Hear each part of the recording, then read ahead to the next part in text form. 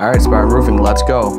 Um, so landing on the homepage, this looks crowded. I would like to, to clean this up a little bit um, so that we're focusing on what's important, kind of just a blue background here.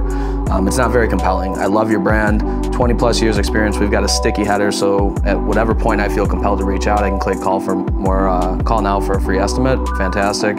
Um, this is a great truck wrap. I love that. Uh, it, it's looking a little light on the content, so I would definitely look at adding additional content to the home pages. Uh, maybe shift these trust badges up um, towards the top. We've got an error not available, so one of your components on the website's not working properly. I would certainly address that. One of the things that grabbed my attention was the community outreach. I think this is fantastic. If we go to this page, we're talking about all the different things that we're involved with in the community.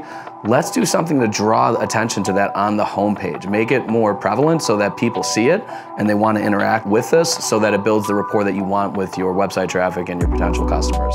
Drop your link in the comments below if you want a website audit. One, zero.